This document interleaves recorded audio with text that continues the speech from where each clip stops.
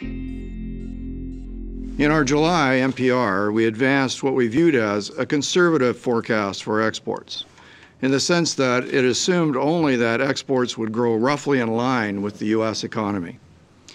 We've seen a significant recovery in exports since then, but the net effect of these choppy data is that the level of exports, the level of exports is well below where we thought it would be by now. It's important to note that international trade has been surprisingly weak globally.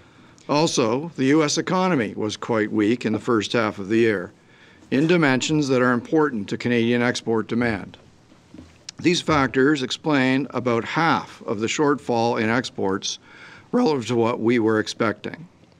For the remainder, we are examining a range of structural factors, including lost export capacity and competitiveness challenges.